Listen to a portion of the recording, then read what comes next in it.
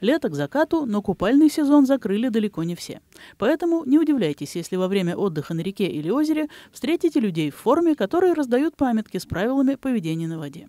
Рейды по профилактике поведения детей и взрослых на водоемах проводятся на регулярной основе. И вот почему. Самое главное и основное правило для посещения водных объектов да, чтобы э, наши жители, если выходят с детьми, то пользовались только теми пляжами, которые у нас открыты, чтобы не купались в тех водоемах, где у нас э, есть таблички «Купание запрещено». Во-вторых, чтобы наши жители объясняли своим детям, как правильно вести себя на воде, Таблички «Купаться запрещено» этим летом появились на всех водоемах городского округа Щелково. Требования к местам для купания с каждым годом ужесточаются. Кому-то из отдыхающих до этого нет никакого дела, а зря.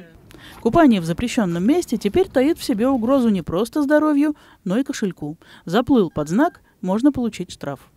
Правительство Московской области в рамках безопасности Подмосковья инициировало изменения в КОАП и ввели вот именно эту статью. Новая статья в КОАПе 3.7. Это запрещено купание э, в местах, э, не отведенных для купания. Штраф предусмотрен 1000 рублей. Официальная пляжная зона отдыха находится в Центральном Щелковском парке, но тоже без входа в воду. Запрещающие знаки установлены также на озере Севаш, Амеревском и Кожинском карьерах и в других популярных у жителей, но стихийных местах отдыха на воде.